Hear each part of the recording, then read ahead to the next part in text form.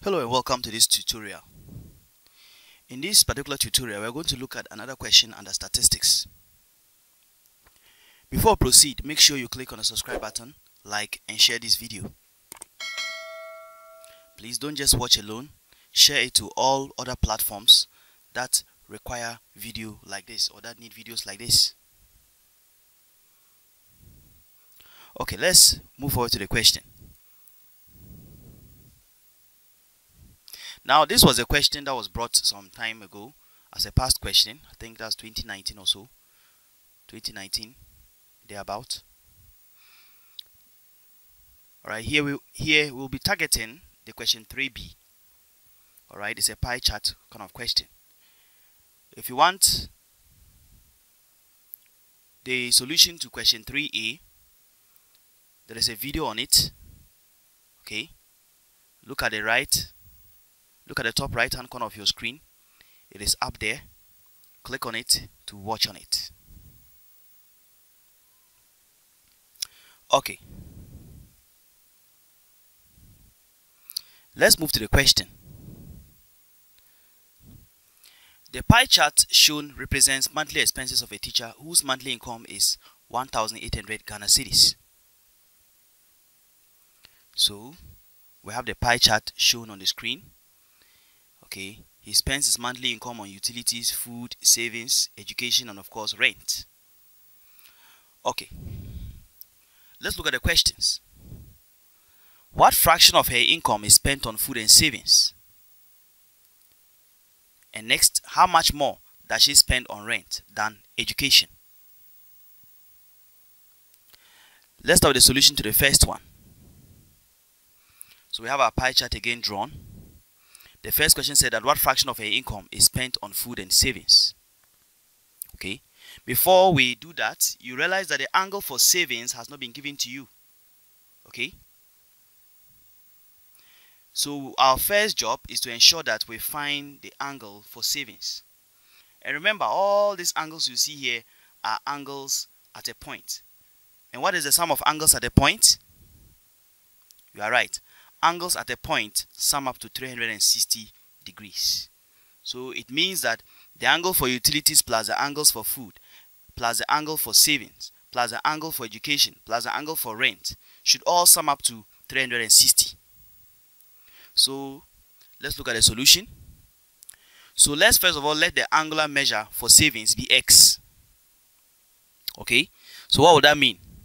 50 degrees plus 90 degrees plus 60 degrees plus 120 degrees plus x that is for savings will give us 360 degrees. Okay? Now when you sum when you sum 50 to 90 to 60 and of course to 120 what are you going to get? And now to do this you pick your calculator and key in 50 plus 90 plus 60 plus 120 then press equal to what does that give you? 320 okay 320 so what does that mean? What it means is that we now have 320 plus x is equal to 360 now to find x what do we do? We subtract 320 from both sides. In other words, we transpose 320 to the other side of the equal sign, alright? And that will imply that x is simply going to give us 360 degrees minus 320. And what does that give us? This is very obvious. This should give you 40 degrees. Okay? And to simply do this with your calculator, just key in already we had a previous answer all right on it so what do you do? Just type 360 minus answer. And automatically the, the calculator will pick up the previous answer you had. And of course when you subtract that gives you 40 degrees as you can see on the screen. Okay? Good. Let's proceed. Now um Therefore, we can see that the angle for savings is 40 degrees. Now, we have not still answered the question yet. they said what fraction of her income is spent on food and savings. So the total angular measurement, first of all, we have to find the total angular measurement for savings and of course, and then on food. And now what that mean? The total angle for food and savings is going to be 120 degrees plus 40 degrees and that will give us 160 degrees. So, to now find a fraction, we take 160 degrees over 360 degrees. Remember I told you that angles at a point sum up to 360 degrees. Okay, so to get a fraction, we simply write the angle for savings and food together out of the total angle, which is what 360. Remember we said fraction is part of a whole. So that part of the whole, that is the total angular measurement at a point. Okay, that part of the whole, which is 160, out of the total part, which is what? 360. Okay, so when we reduce it further, okay, we are going to come up with the answer 4 over 9 or 4 ninths. And to do this on the calculator, press the fraction button you see here. Key on it, then you type 160 over 360. Okay, and what does that give us? 4 over 9. That is why we had the answer here like that. Okay, please for those who have mathematics background, calculator will not be of any use, probably can only speed up your work. But for those of you who have no mathematics background, it is advisable that you always have your calculator with you. Okay, it is going to help you also finish very fast and of course beat time as well.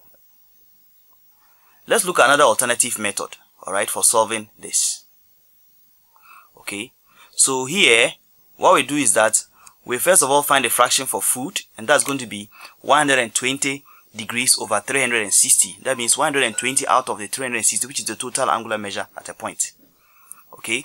And that is going to simplify to of course for my brothers and sisters who do not have mathematics background you can also use 120 divided by 360 and that simply gives us one third or better still 1 over 3 so you see that our solution simplifies to 1 over 3 or simply put 1 third. Okay, that is for food alone. Now let's go for the fraction for savings, alright? The fraction for savings, remember we had it to be 40 degrees previously. Okay, so the fraction for savings is also going to be 40 over 360.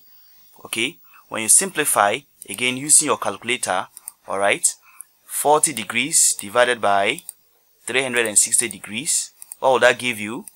That's going to give you 1 over 9 or 1 ninth. Okay, so that simplifies to 1 over 9. Okay, that still hasn't answered the question because we are looking for the fraction that represents food and savings. Now that we have gotten the fraction for food and of course in the, in the fractions for savings, what do we do? We simply add the two of them. Okay, so we can see that the sum of fractions for food and savings is simply going to be 1 over 3 plus 1 over 9 or in other words 1 third plus 1 ninth okay and for this if you know how to solve fractions you can go ahead and do it but to be quicker just go ahead pick your calculator up okay?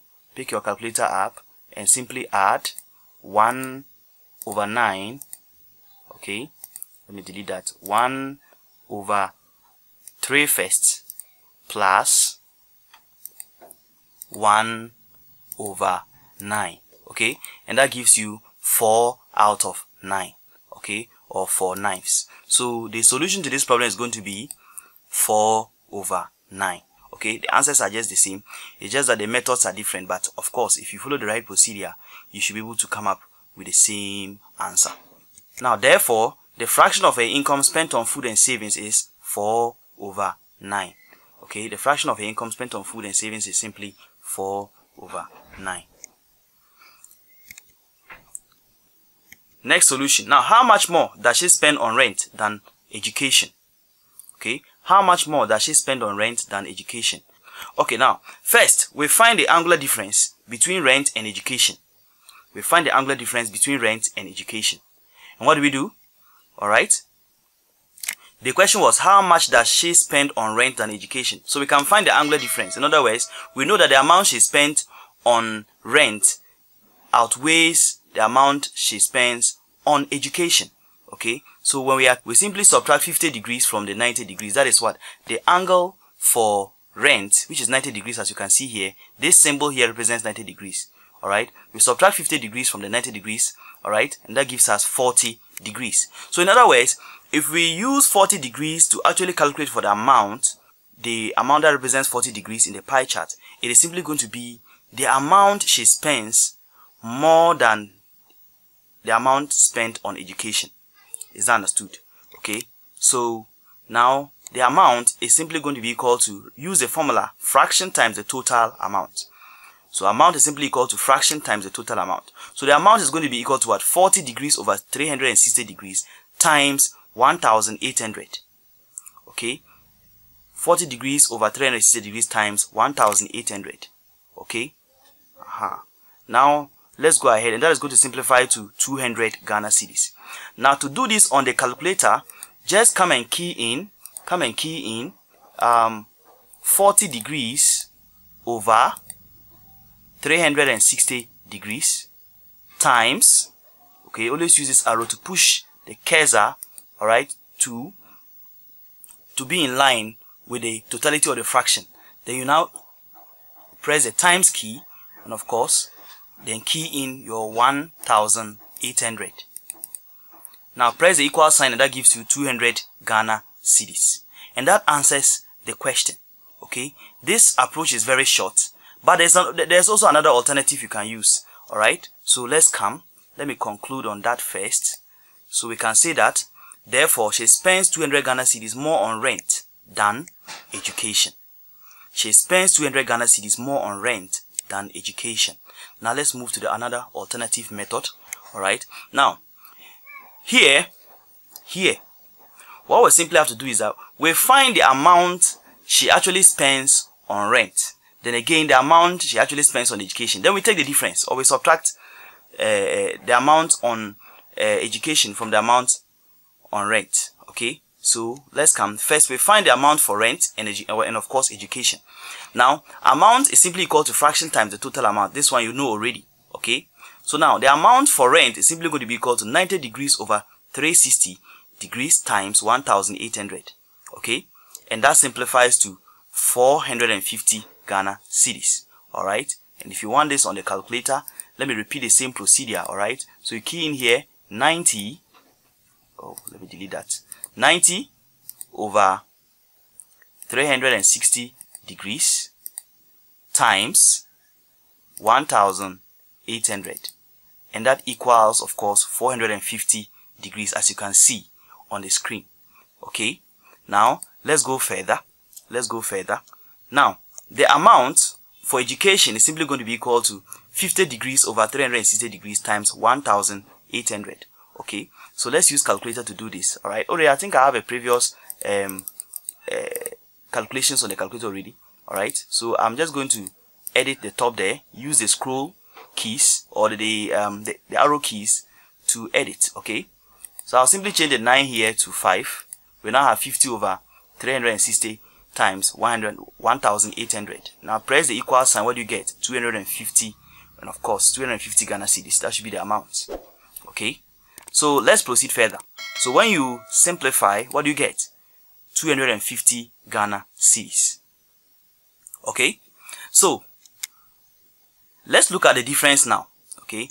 Now, the difference in amount is simply going to be equal to the 450 Ghana cedis. That is the amount for rent minus the amount for education, which is what 250 Ghana cedis. And what will that give us? Simple. 200 Ghana cedis as in the previous solution.